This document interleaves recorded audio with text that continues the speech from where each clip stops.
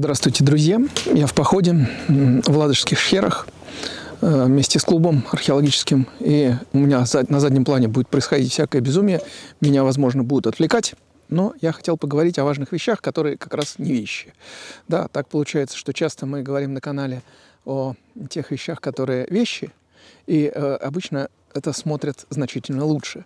Вот. А, но это не значит, что мы должны забывать о тех вещах, которые важны и которые не вещи. Сегодня я попробую сказать, раска... попробую сказать свое понимание таких вот вещей, опять же, вещей, да, свое понимание того, почему мы Почему, какие преимущества есть э, для того, чтобы ходить в поход? Так, ну, наверное, самое главное. Вот начну с самого главного. Э, походы и в э, прошлом веке, сейчас в определенной мере остаются территории свободы. Да, то есть э, весь мир потихонечку превращается в концлагерь.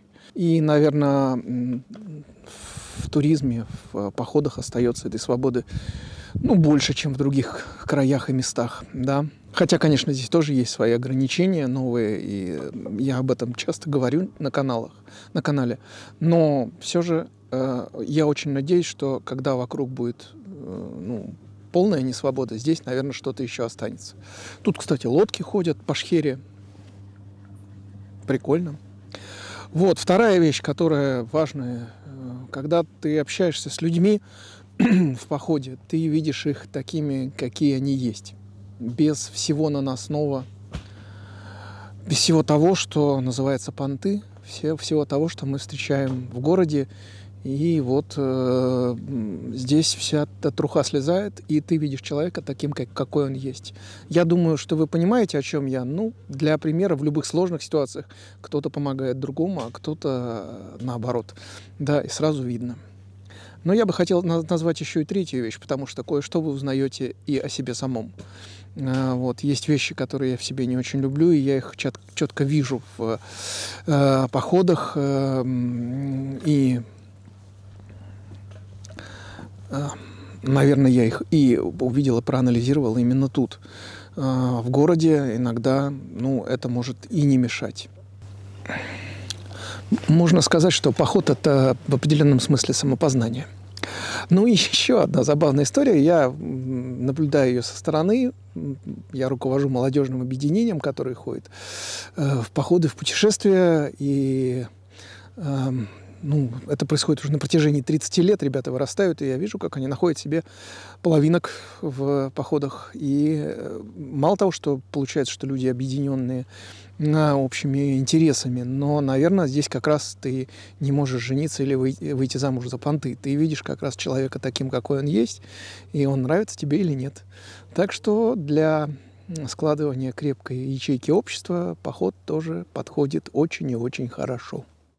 Вы, отправляясь в поход и постепенно получая какой-то опыт, одновременно вы э, становитесь увереннее в себе и получаете определенные скиллы, э, которые очень сложно, навыки, да, которые можно, сложно получить в городе. Э, получаете определенную уверенность в себе, в своих силах, решительность, ответственность, готовность помочь. Эти вещи, они, в общем, формируются в походах на мой взгляд, э, для этого здесь есть хорошая почва. Могут и не формироваться. Бывают походы в стиле э, взаимной ненависти. Я такое наблюдал, но это очень редко и, как правило, не прокатывает надолго. Еще одно преимущество быть туристом – вам надо тянуть физуху. Я в течение года это единственный мотив, который меня заставляет встать с кровати и заниматься э, физическими нагрузками, получать физические нагрузки. Это как раз вот необходимость потом в походе э, эти э, способности применять. Наши навыки, полученные в походах, позволяют нам... Да, давайте-ка я свет переставлю. Меня тут начинает светить. Навыки, полученные в походах, э, можно применять в сложных ситуациях, да и не в сложных ситуациях, в обычной жизни.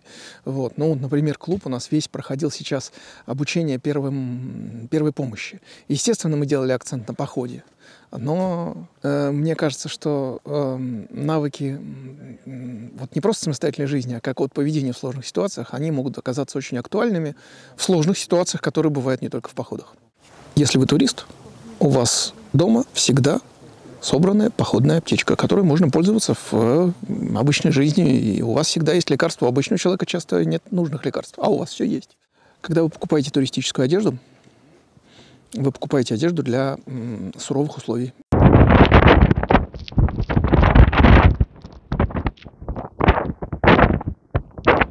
Если наступают суровые условия, например, в Питере осень, то вы можете использовать туристическую одежду и быть просто королем горы. Потому что если у вас есть хорошие мембранные ботинки, вот весь город ходит в мокрые сопливые, а у вас сухие ноги. Прикольно. Если вы турист, то у вас есть много полезных э, вещей, которые можно использовать просто в обычной жизни. У вас рубанули свет, вы включаете фонарик. У вас приехали гости, вы уложили их на, спаль... на коврики, на... завернули в спальные мешки. Э, все идет в дело, все идет в пользу. И даже есть палатка, которой можно дать детям поиграть в домик. Если вы турист, у вас всегда есть десяток вариантов э, бюджетного, невероятно красивого отдыха. И вот, например, когда все сидели на локдауне, мы сначала сидели на локдауне клубом, потом собрались и решили, что локдаун на островах Воксы намного лучше, чем локдаун дома. И оказалось, что там ковид на нас не напал.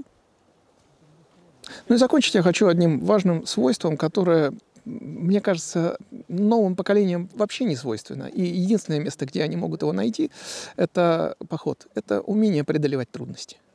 Вот вам трудно, но вам все равно надо это преодолеть.